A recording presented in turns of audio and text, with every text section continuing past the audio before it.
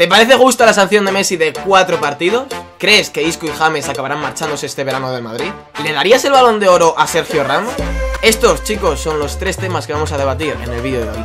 Empezamos. Antes de empezar el vídeo, si quieres comprar monedas para Ultimate Team, tenéis aquí abajo en la descripción la página más barata, más rápida y sobre todo segura. Y además, si pones el código Diego, os hace un 8% de descuento. Bueno chicos, muy buenas, ¿qué tal? Bienvenidos un día más, bienvenidos en este caso a otro vídeo de opinión, a otro vídeo de debate de estos que os gustan del salseíto. He de decir que estos tres temas no me los puso nadie en comentarios en el otro vídeo porque os centrasteis solo en, en debatir la opinión que yo tenía, que es lo que quería, pero también quería que me pusieseis otros temas para el siguiente vídeo Al igual que quiero que en este vídeo bajéis a comentarios Y aparte de responderme con vuestra opinión a los tres temas que trate Quiero que también me digáis otros temas a debatir en el siguiente vídeo, ¿vale? Quiero que entre todos hagamos un tema de debate para el siguiente vídeo Voy a intentar que sea al menos uno de esta semana, ¿vale? Como va a ser el caso de Messi, que ha sido esta semana cuando se ha hecho saber la sanción de Messi uno mínimo va a ser de la semana en la que estamos, un tema va a ser de actualidad. Y otros pueden que sea también de actualidad o puede que sea de... no del pasado, no voy a hablar de si Deco tiene que irse al Barça o no.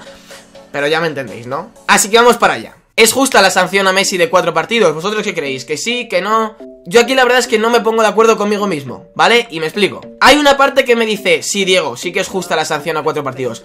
¿Por qué creo que es justa esa sanción de cuatro partidos? Básicamente porque si os fijáis, es el mayor ejemplo de todos los chavales, es el mayor ejemplo de todos los que nos gusta el fútbol. ¿Por qué? Porque es el mejor jugador del mundo. Y si no es el mejor jugador del mundo, será el segundo mejor jugador del mundo. Ahí está el debate, que no me pienso mojar tampoco, aunque muchos ya sabéis mi opinión.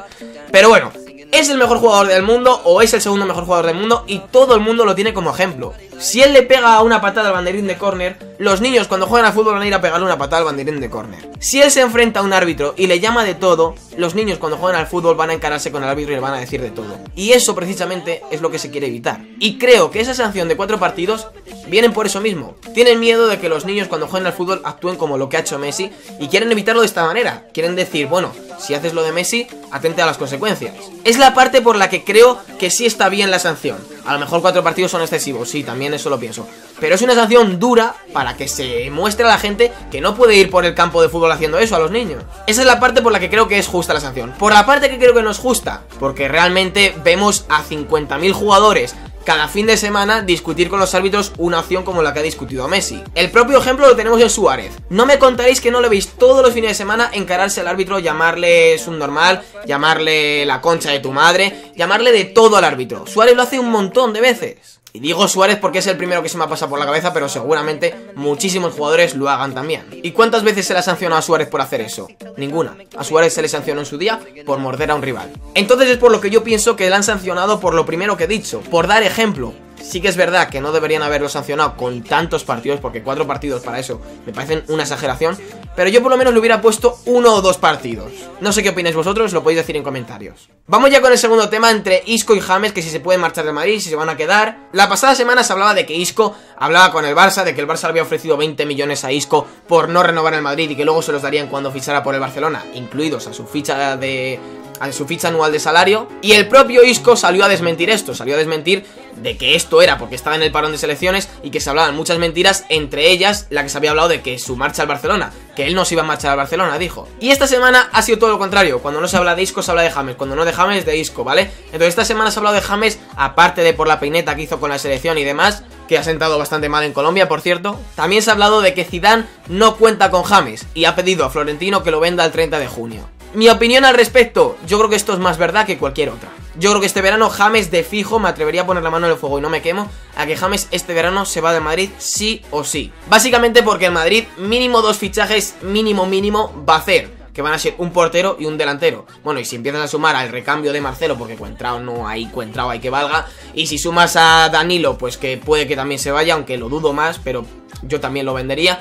Pero ese no es el caso. El Madrid mínimo va a hacer dos fichajes este verano y dos fichajes bastante importantes en cuanto a dinero. Y James es muy valorado en el mercado. Y si a eso le sumas que tampoco está dando el rendimiento, que tampoco está jugando muchos minutos, a regla de tres, yo creo que James sí o sí este verano se marchará. El que tengo más dudas es con Isco. Con Isco tengo muchas más dudas porque con Isco me parece un jugador increíble, pero sí que es verdad que su mente como que no está del todo con el Madrid. Entonces yo creo que lo de Isco va a depender más de quién venga o quién se vaya o cómo vaya evolucionando, porque no hay que olvidar que el Madrid tiene un jugador que se llama Asensio, que posiblemente sea el futuro de España, y lo tiene ahora mismo calentando banquillo porque están Isco y James.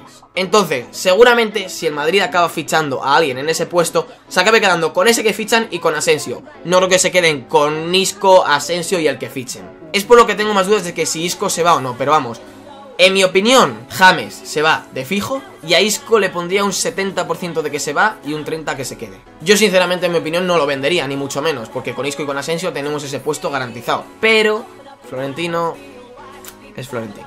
¿Qué opináis vosotros al respecto? Y ahora sí que sí, vamos a por el último punto del vídeo de hoy, quizá el más polémico de todos, que también ha estado mucho dando vueltas estas semanas, eh, bueno, estas semanas no porque ha habido parón de selecciones y más, pero antes del parón de selecciones se hablaba de que Ramos tenía muchas opciones de ganar este año el balón de oro. Aquí ya sabéis muchos que depende de qué equipo seas. Si eres del Madrid, muchos van a ver a Ramos como posible candidato al balón de oro. Si eres del Barça, ninguno va a ver a Ramos con posibilidad de balón de oro. Yo, como muchos sabéis, soy del Madrid. Pero en este sentido sí que es verdad que me considero muy imparcial. En el sentido de que, por ejemplo, veo a Busquets como el mejor mediocentro del mundo, veo a Messi como el mejor jugador del mundo, veo que Suárez le da mil vueltas a Benzema, aunque bueno, eso yo creo que lo ve todo el mundo. Pero bueno, veo que Suárez le da mil vueltas a Benzema. A lo que voy es que me considero bastante imparcial. No porque sea un jugador de Madrid voy a querer balón de oro para él, sí o sí. Entonces, mi opinión lo de Sergio Ramos. Es cierto que ha marcado muchos goles, es cierto que le ha dado un montón de puntos al Madrid. Es cierto que ahora mismo, sin los goles de Ramos, si le quitas al Madrid los goles de Ramos, andaríamos terceros en liga o cuartos. Pero para mí no es un mérito suficiente para llevarse un balón de oro. Para mí el balón de oro se lo tiene que llevar el mejor jugador del mundo.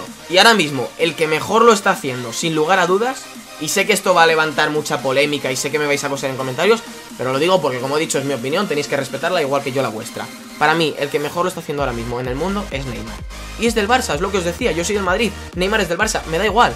Pero hay que ser justos. Y si el que mejor lo está haciendo ahora mismo es Neymar, se dice y punto. Entonces, por muchos goles que marque Ramos, como si quiere marcar otros 50 goles, bueno, si marca 50 y uno de ellos se marca la final de la Champions, pues ahí sí que hay que empezar a valorar si se le damos el balón de oro o no. Pero a lo que voy, por muchos goles que marque, para el máximo goleador ya hay un premio y no es el balón de oro, es la bota de oro. Entonces, si marcas muchos goles, no tienen que darte el balón de oro, tienen que darte la bota de oro.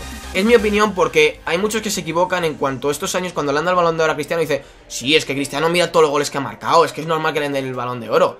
No, es que el balón de oro no tiene que ver nada con los goles. Un tío que te haga 10 goles y 10 asistencias en 40-50 partidos, si de verdad hace que su equipo juegue mejor, si de verdad se ve que es un pedazo de jugador increíble, le daría antes el balón de oro a él que a otro que te haga 50 goles en 30 partidos. Es por eso que yo no le daría ahora mismo el balón de oro a Ramos.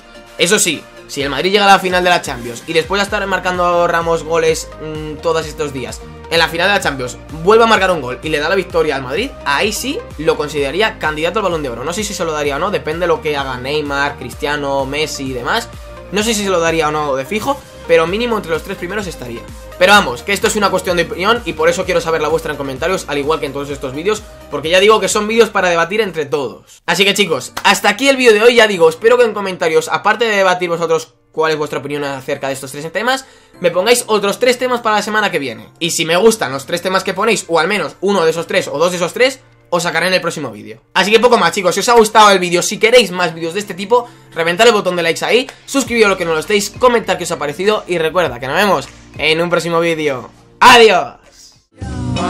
Cuando sale para entrar en calor. La vida en el mar es está de puta madre, pasémonos la tarde haciendo el amor. Y ya ves, ya ves en la arena mis iniciales, hasta puse a tu